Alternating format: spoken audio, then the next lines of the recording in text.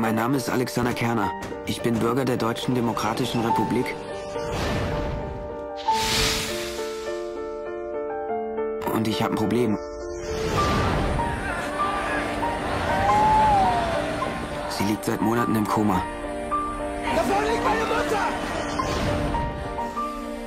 Die Mauer ist weg. Eigentlich ist das kein Problem, aber meine Mutter hat von all dem nichts mitgekriegt. Alles, woran sie glaubt, hat sich in ein paar Monaten in Luft aufgelöst. Einfach so.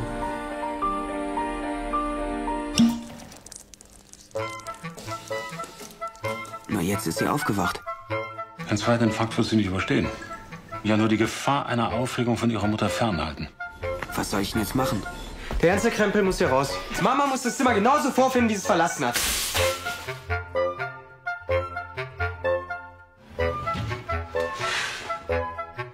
Sich ja gar nichts verändert hier. Was soll sich auch schon verändert haben? Ich hab so einen Heißhunger auf Spreewaldgurken. Ein Spreewaldgurken? Mensch, Junge, wo lebst du denn?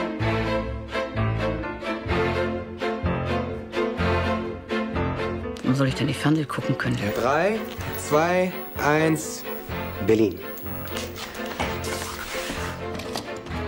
in den DDR-Botschaften Prag und Budapest. Ist das mit den 20 Mark? Hier ist die Arbeit.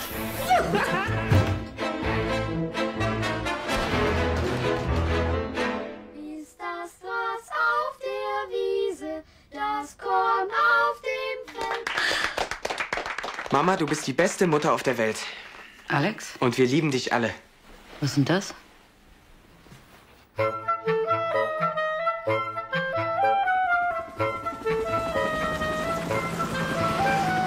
Thank